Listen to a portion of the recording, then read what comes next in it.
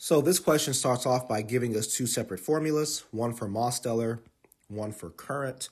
The question goes on to say the formulas above are used in medicine to estimate the body surface area A. So I'm just going to write that down. A represents surface area in square meters, right? So we know the unit there is going to look like this.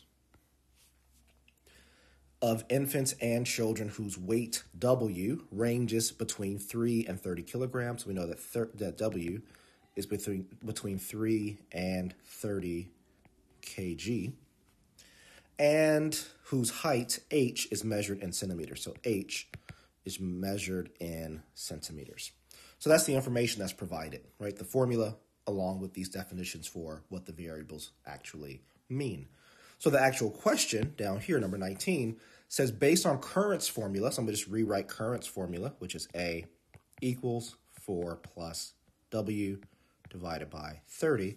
What is W in terms of A? Okay, so this is a very uh, common SAT question.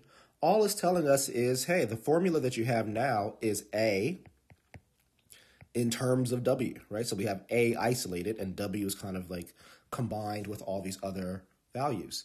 What we want instead, however, we want to tr- convert this into W equals, you know, something with A involved, right? So the little squiggly lines mean it's going to be some other things associated with this A on the right side of the equation. So let's do some algebra here in order to isolate W.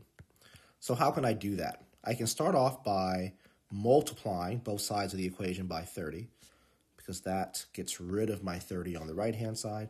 So from there, I'd be left with 30a equals 4 plus w.